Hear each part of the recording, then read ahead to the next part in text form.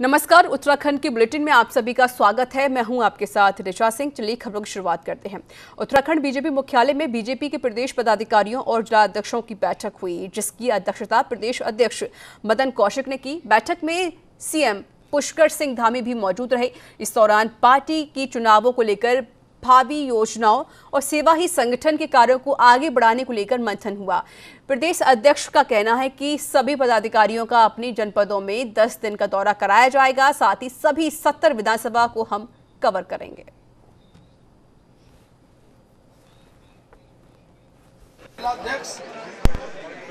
उनकी एक बैठक अभी हुई है। बैठक का विधिवत रूप से समापन के बाद अभी सब लोग बैठेंगे। और अगले सारे कार्यक्रमों के बारे में विस्तृत रूप से चर्चा होगी। इस बैठक में हम लोगों ने जो आगामी हमारे चिंतन बैठक के सारे कार्यक्रम थे, उनकी विस्तृत रूप से चिंता की है। उनकी भूमिका उस कार्यक्रम में क्या रहेगी, उनको बताया है।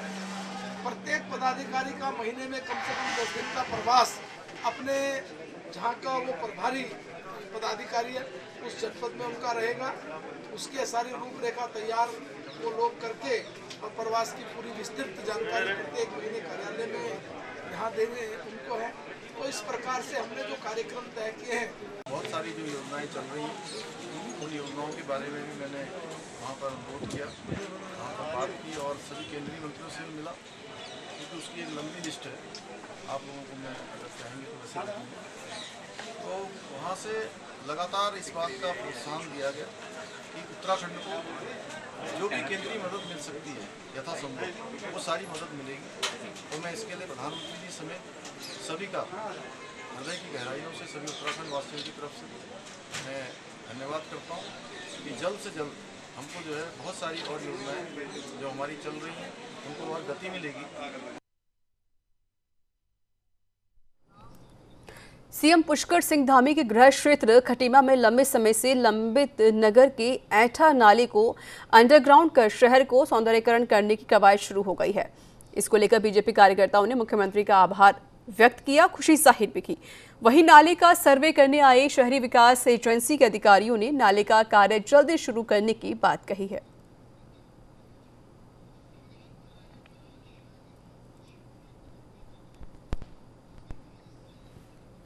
मुख्यमंत्री जी पदभार संभालने के बाद सबसे पहले उनकी पहले प्राथमिकता ये थी कि इस क्षेत्र में जो ये ऐठा नाला है, ऐठा नाले के वजह से पूरे शहरी क्षेत्र में जल भराव की स्थिति बन जाती है और इससे बहुत से परिवारों को नुकसान होता है। इसको देखते हुए माननीय मुख्यमंत्री जी ने इसको अमल में लिया और इसमें अति शीघ्र काम की टीम आ रखी है, जिसमें कि खटीमा शहर का डिटेल सर्वे कर रहे हैं। इसके बाद तो डीपीआर बनेगी। बाकी जो जो काम प्रस्तावित होंगे, वो शासन के द्वारा वहाँ से कराए जाएँगे। है ना, सर? ये जो भी हो, चाहे इसमें सीवर हो, पानी हो, सौंदर्यकरण का काम हो, जो जो काम आगे प्रस्तावित किए गए हैं, उनका, उनके लिए सर्वे किया जा रहा है अभी पूरा। एजेंसी की टीम आ रखी है। टाटा कंपनी के द्वारा सर्वे किया जा रहा है। सीएम साहब की विधानसभा होने के नाते और सीएम साहब की विधानसभा होने के नाते यहाँ एटा और फकरा नाले के ऊपर पिचिंग का कार्य किया जाएगा और सौंदर्यकरण का काम किया जाएगा और इसके ऊपर चलने के लिए इनका एक प्रयोग किया है। इसके ऊपर स्लिप डाल करके बाईपास के रूप में और जो लघु व्यापारी, छोटे हमारा व्यापारी है, जो उजड़ गया है, उसको बसाने का कार्य किया जाएगा और यहाँ पे एक दीनदयाल पार्क है, जो जीर्ण शीर्ण हालत में उसको सौंदर्य किया जाएगा और पूरे शहर को एक सुंदर सा शहर बनाने के लिए सीएम साहब का एक प्रोजेक्ट है, जो इसे अब निखारा जाएगा, संवारा जाएगा और बढ़िया सा बनाया जाएगा। टाटा कम। पेयजल मंत्री विशन सिंह चुफाल नैनीताल दौरे पर पहुँचे, जहाँ बीजेपी कार्यकर्ताओं ने उनका जोरदार स्वागत किया। नैनीताल राज्य अतिथि गृह में मंत्री चुफाल ने पत्रकार वार्ता के दौरान कहा कि भारत सरकार की हर घर नल, हर घर जल योजना के तहत 2023 तक हर परिवार को पानी दिया जाएगा, जिसके लिए डीपीआर तैयार कर ली गई है। पेयजल मंत्री ने कहा कि जल विभाग में जेई की कमी को देखते हुए इसी सप्ताह उपनल के माध्यम से जल संस्थान में रिक्त पड़े पदों को भी भरा जाएगा।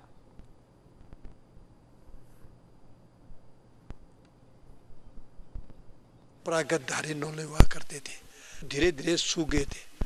उन धारे नौल में पानी पुनः रिचार्ज हो, उसके लिए हमारे पास योजना है। ये योजना है कि बरसात जल संग्रह वो बरसात जल संग्रह, जो बरसात का पानी है, जो बरसात के स्रोत हैं, उन स्रोतों का पानी सीधे हम बड़े बड़े उसके चाल खाल बनाएँ, उसमें पानी डालें, जिससे आसपास के जो हमारे नौलेदार हैं, उसमें रिचार्ज हो जाए, ज़मीन के अंदर पानी रिचार्ज हो जाए। उन गाँव में सब पानी, बरसात का पानी रिचार्ज करने के चाल खाल का काम मंडेका के अंतर्गत हम काम कर रहे हैं। परंपरागत धारी नौ नैनीताल दौरे पर पहुँचे पेयजल मंत्री बिशन सिंह चुफाल को नैनीताल व्यापार मंडल सहित स्थानीय लोगों के विरोध का सामना करना पड़ा। विरोध प्रदर्शन कर रही व्यापार मंडल के पदाधिकारियों ने पेयजल मंत्री के खिलाफ जमकर नारेबाजी भी की। वहीं व्यापार मंडल अध्यक्ष किशन सिंह नेगी ने कहा कि नगर में जल संस्था की ओर से उपभोक्ताओं को गलत बिल थमाए जा रहे हैं। फिर भी नगरवासियों को आए दिन पानी की समस्याओं से जूझना पड़ रहा है जबकि शिकायत दर्ज कराने के बाद भी जल संस्था जाने वाले उपभोक्ताओं से अभद्र व्यवहार किया जाता है और वहीं व्यापार मंडल अध्यक्ष ने जल संस्था के अधिश्वासी अभियंता को हटाने की मांग की है। समाधान कर रहा हूँ। महीने से नैनीताल के कई हिस्सों में पानी नहीं आ रहा है। इसके लिए हमने विभाग के समक्ष अपनी परेशानियाँ रखी। लेकिन विभाग के अधिकारी इतने नकारा और निरंकुश हैं कि जनता की बात सुनने को तरीके हैं। जनता से बदतमीजी अलग से करते हैं दुर्व्यवहार अलग से करते हैं। इनके पदाधिकारी, इनके कर्मचारी सब जनता से दुर्व्यवहार करते हैं। हम चाहते हैं कि ऐसे जला ऐसे अधिकारियों को नैनीताल से हटाया जाए। पानी का बिल का मुख्य यह है कि हम ये लोग इन लोगों का कोई दीन ईमान नहीं है जल संस्थान का। ना मीटर लगे हैं, आधे से ज़्यादा नैनीताल में मीटर नहीं लगे हैं। और कहीं मीटर लगे लाए तो मीटर लगाए ही नहीं है और बिल पे बिल भेजे जा रहे हैं। इसलिए इसका रिवीजन होना चाहिए और ये पुनः से असेसमेंट के आधार पर लागू होना चाहिए। समय पर पानी नहीं मिल पा रहा है। जितने पानी की मात्रा उनको मिलनी चाहते, नहीं मिल पा रही है और बिजली के, उसके पानी के बिल ज़्यादा आ रहे हैं। उसको लेकर व्यापारियों में थोड़ा सा आक्रोश है। उस आक्रोश को देखते हुए उनको अभी वार्ता किया। वार्ता करने के बाद जल्दी से जल्दी उसका समाधान निकल जाएगा। विधानसभा में कैबिनेट मंत्री रेखा आर्य की अध्यक्षता में महिला बाल विकास विभाग की वर्चुअल बैठक हुई और बैठक में मंत्री रेखा आर्य ने अधिकारियों को योजनाओं में किसी तरह की ढिलाई और कोताही नहीं बरतने के निर्देश दिए हैं। रेखा आर्य ने कहा कि मुख्यमंत्री बात्सल्य योजना के अंतर्गत लाभार्थियों के चेक वितरण का कार्य सत्रह जुलाई तक पूरा किया जाएगा। आपको बता दें कि योजना का औपचारिक शुभारंभ मुख्यमंत्री द्वारा 17 जुलाई 2021 तक किया जाएगा। इस योजना में 2000 लाभार्थियों का चयन किया गया है। सभी जनपदों के जो हमारे जिला कार्यक्रम अधिकारी हैं, सभी ने अपनी ओर से ये बताया है कि हमें लगभग लगभग पूरे प्रदेश के स्तर पर देखें तो करीब 200 करोड़ के बजट की हमें रिक्वायरमेंट है, जिसकी उन्होंने डिमांड करी है। तो ये बजट उनको शीघ्र अतिशीघ्र जो है आवंटित करा जाएगा, ताकि पैदा होने वाली बालिका से लेकर बारहवीं पास करने वाली बालिका को जो है वो धनराशि मिल सके। इसके साथ साथ में मुख्यमंत्री महालक्ष्मी किट योजना की भी समीक्षा की गई है कि क्या सभी जनपदों को मुख्यमंत्री महालक्ष्मी किट जो है वो पहुँची है अथवा नहीं पहुँची है। तो सभी जनपदों के सभी आंगनबाड़ी केंद्रों तक में जो है महालक्ष्मी किट पहुँच चुकी है। इसकी एक औपचारिक शुरुआत जो है माननीय मुख्यमंत्री जी से आज वार्ता होने के उपरांत में जो भी तिथि वो तय करेंगे, पंद्रह करेंगे, चौदह करेंगे तो उसके हिसाब से कार्यक्रम हम लोग प्रारंभ कर देंगे। उत्तराखंड में जल्दी टाटा कैंसर इंस्टीट्यूट की स्थापना होने जा रही है, जिसके बाद राज्य स्वास्थ्य सेवाओं का हाल ही बदल जाएगा। प्रदेश के खाते में इतनी बड़ी उपलब्धि दर्ज करवाने का श्रेय राज्यसभा सांसद और बीजेपी के राष्ट्रीय मीडिया प्रमुख अनिल बलूनी को जाता है। वहीं उन्होंने बताया कि इंस्टीट्यूट स्थापना के साथ साथ तत्काल उपचार के स्तर पर भी काम तेज़ी से चल रहा है। उन्होंने ये भी कहा कि जब तक कैंसर से जूझ रहे थे, तब वह लगातार राज्य के हर कैंसर पीड़ित व्यक्ति के बारे में सोच रहे थे कि क्या जैसा उपचार उन्हें मिल रहा है, ऐसा उपचार प्रदेश के किसी भी कैंसर पीड़ित को मिल सकेगा।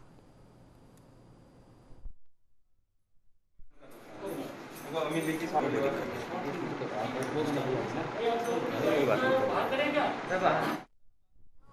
रुड़की में ड्रग्स जागरूकता अभियान के तहत कांग्रेस कार्यकर्ताओं ने एसपी देहात को ज्ञापन सौंपकर नशीले सामान की बिक्री पर लगाम लगाने की मांग की है। वहीं कांग्रेस पदाधिकारियों ने प्रदेश में लगातार बढ़ रहे नशे के मामलों को राज्य सरकार की विफलता बताया।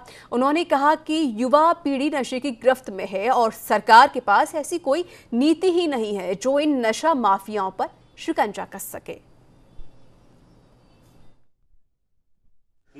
व्यापक रूप से आगे बढ़ रहा है तो कहीं ना कहीं ये सरकार की विफलता है। क्या कर रही है? इनके पास इतना बड़ा बहुमत है इतने प्रचंड बहुमत से ये लोग सरकार में ये इनका काम है कि ये इसको बढ़ने से रोकें। इसको एकदम जैसे ही इसका सबसे पहले सूचना मिली थी उसी समय अगर ये सही कार्रवाई की जाती अगर पूरा सिस्टम लगाया जाता तो आज ये इतना इतना व्यापक रूप से ना फैलता। आज इतनी बर्बादी की कगार पे ना आया और। ड्रग्स को रिलेटेड एक, आह्वान था आपके द्वारा एक ज्ञापन दिया गया था। जिस पर हम ऑलरेडी लगे हुए हैं। महोदय के निर्देशन में। सभी जितने भी ड्रग्स के प्रति जो हम लोगों ने ज़ीरो टॉलरेंस रखा हुआ है हम लोग कार्रवाई भी कर रहे हैं। तो अगर हमारी सूचना और मिलती है हम निश्चित रूप से कार्रवाई करेंगे। साधु संतों की सर्वोच्च संस्था अखिल भारतीय अखाड़ा परिषद ने उत्तर प्रदेश की योगी सरकार की नई जनसंख्या नीति का स्वागत किया है। साथ ही तेज़ी से बढ़ती जनसंख्या पर गहरी चिंता भी ज़ाहिर की है। अखिल भारतीय अखाड़ा परिषद के अध्यक्ष महंत नरेंद्र गिरी ने कहा कि देश और प्रदेश में हो रहा तेज़ी से जनसंख्या विस्फोट कई प्रमुख समस्याओं का कारण भी है। इसलिए यह बेहद ज़रूरी है कि लगातार बढ़ रही जनसंख्या पर तत्काल रोक लगाई जाए। महंत नरेंद्र गिरी ने मांग की है कि सरकार जनसंख्या नियंत्रण के लिए सख्त कानून बनाए और वहीं नई जनसंख्या नीति का मुस्लिम धर्मगुरुओं द्वारा विरोध करने पर भी नरेंद्र गिरी ने जमकर निशाना साधा है।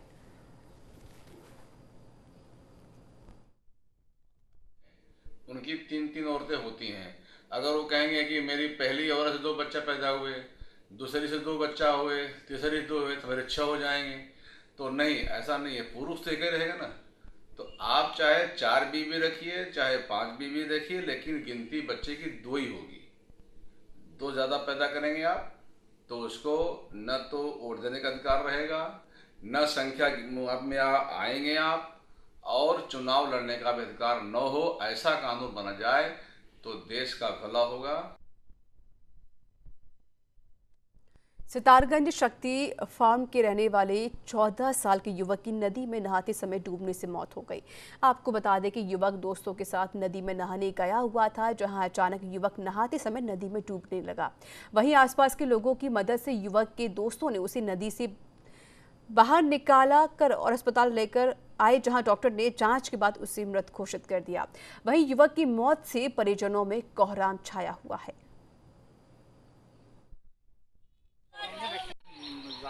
चार बच्चे गए थे नहाने। तो उसमें से देव कुमार इनका नाम है, चौदह वर्ष उम्र है और इनके जो है डूबने से मौत हो गई है।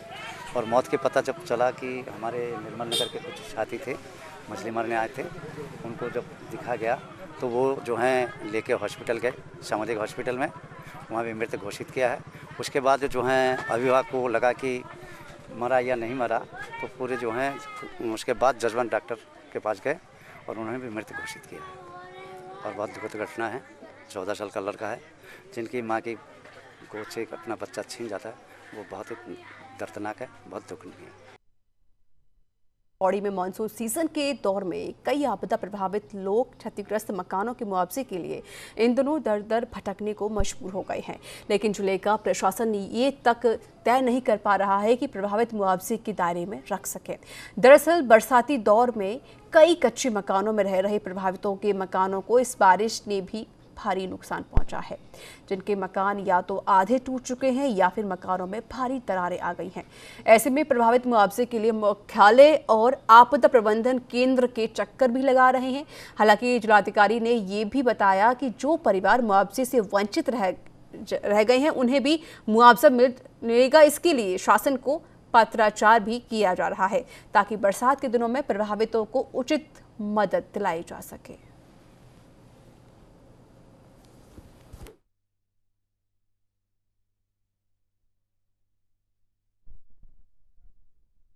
मेरा मकान टूट गया था। अति बारिश के कारण ये क्षतिग्रस्त हो गया था।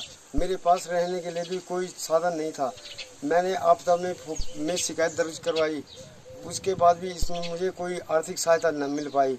उसके बाद मैंने पटवारी जी भी यहाँ मौका करने के लिए आए। उन्होंने भी अपने यहाँ मकान की फ़ोटो फाटो लेके चले गए। उसके बाद मेरे अभी तक उनकी भी कार्रवाई में मेरे को कोई पता भी है भी नहीं। ये मिलेगा, अभी ये पैसा कि नहीं मिलेगा, मुझे रहने के लिए। मैं खुद मिस्त्री आदमी हूँ। मैं इधर उधर से चादरें मांग के लेके आया और कुछ अपने भाई बंधुओं के लिए भी बोला, क्योंकि मेरे बच्चे बहुत परेशान थे। जितना भी हमारा एस के अंतर्गत हम मुआवजा उपलब्ध कराते हैं, उसका जो मानक होता है, उसको हम लोग एक बार परीक्षण करवा लेते हैं तहसील स्तर से।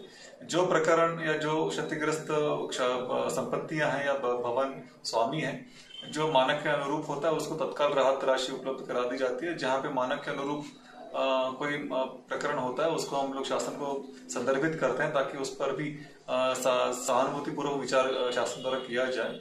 हम लोग जितना प्रकरण हमने निर्देश दे दिया है कि एसडीएम स्तर पर, तहसील स्तर पर, जैस, जैसी घटना की जानकारी प्राप्त होता है, तत्काल उसका प्रकरण परीक्षण करते हुए प्रस्ताव हमको जल्द से उपलब्ध करा दिया जाए, ताकि उस पर हम अग्रिम कार्रवाई उत्तराखंड के लक्सर में कोवैक्सीन की दूसरी डोज लगनी शुरू हो गई है। आपको बता दें कि 45 प्लस और 18 प्लस दोनों कैटेगरी के लोगों को दूसरी डोज लगाई जा रही है। पहले दिन करीब 150 लोगों ने सेकेंड डोज लगवाई, जबकि करीब 200 लोगों को कोवैक्सीन की फ़र्स्ट डोज दी गई। सीएससी प्रभारी डॉक्टर अनिल वर्मा ने बताया कि विभाग का मकसद सीधे सीधे यह है कि जल्द से जल्द शत प्रतिशत लोगों को पहली और दूसरी डोज लगवाकर लक्ष्य हासिल कर लिया जाए, ताकि कोरोना वायरस को पूरी तरीके से मिटाया जा सके।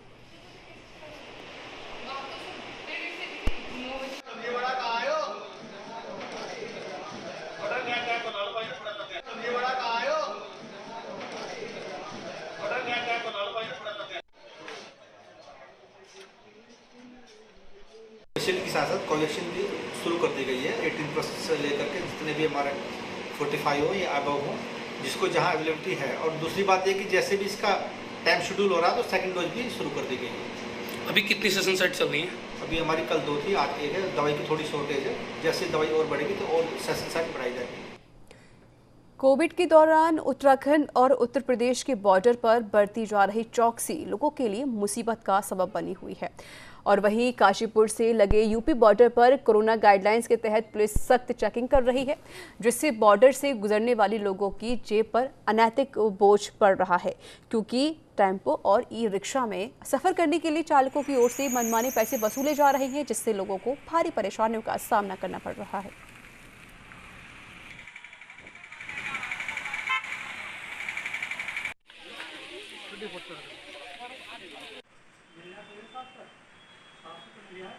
गई तो हमारे को कोई रोक टोक नहीं हुई। आज हम अपने उत्तराखंड में आ रहे हैं, अपने घर पे आ रहे हैं तो आज रोक टोक क्यों हो रही है? बकायदा इन्होंने कहा कि कुछ रिपोर्ट लाओ तो वैक्सीन लगाइए। जब कोरोना होता था क्या वैक्सीन का इंजेक्शन लगा देते हमें?